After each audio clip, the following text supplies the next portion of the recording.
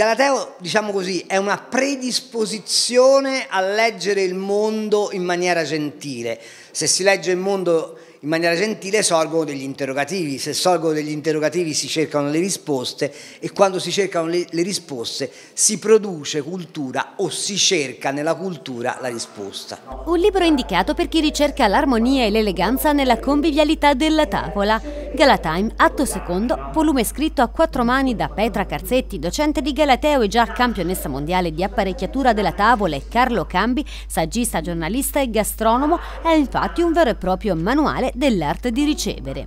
Non è eh, semplicemente la trattazione della forma quello che caratterizza questo testo, ma è invece la contestualizzazione, l'origine, ehm, l'ambito in cui l'esigenza della forma eh, si, fa, si fa sostanza. Il manuale che propone un'eleganza raffinata nella vita quotidiana, trasformando ogni momento in palcoscenico di precisione ed attitudine, è stato presentato nella Sala dei Grandi della provincia di Arezzo.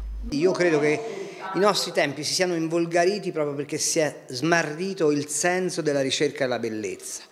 E tornare a parlare di Galateo, anche delle formalità che il Galateo in qualche modo impone, ci serve a rieducarci all'osservazione dell'altro, quindi del, del nostro simile, e all'osservazione anche del territorio, del contesto dove ci muoviamo, per far emergere i valori che tutto questo eh, ci consegna e ci propone. E questo è un'attenzione alla bellezza indispensabile per restituire alla relazione eh, quell'educazione che si è andata perdendo.